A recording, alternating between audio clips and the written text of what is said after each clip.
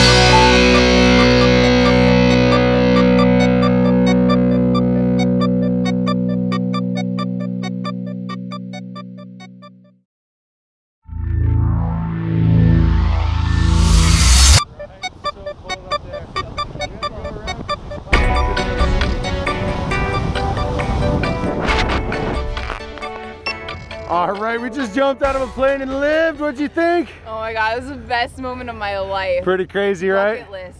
Done. So the real question, would you do it again? I would. All right. thousand times. Right on. You rocked it up there. Thanks for the jump. Oh. We'll see you next time.